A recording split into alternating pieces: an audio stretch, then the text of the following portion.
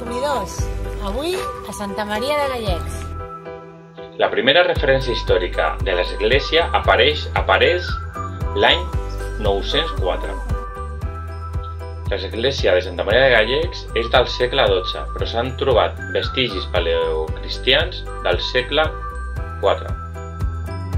Hola descobridores, estem a Gallecs, en el seu centre, a l'església romànica. Tot al voltant és un parc agrícola i forestal, increïble, i sobretot aquests dies de sol d'hivern.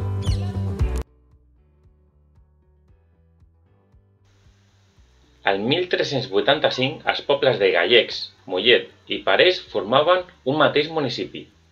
Els seus consells es feien sota un reure. Va durar 450 anys i al segle XIX es van separar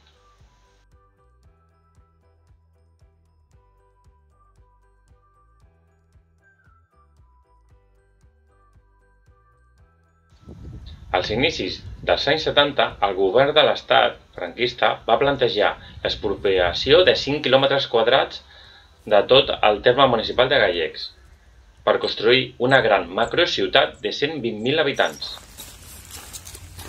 Gallecs, un patrimoni al Vallès per descobrir. Es van expropiar els terrenys, però, per sort, la ciutat no es va portar a terme. Gràcies a això, ara poden gaudir d'un paradís verd entre tanta ciutat.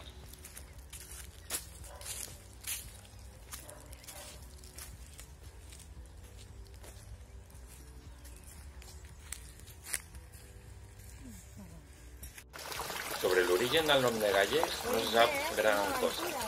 N'hi ha dues teories, una que ve d'una pedra d'un riu i una altra relacionat amb el país veí de les Gàlies.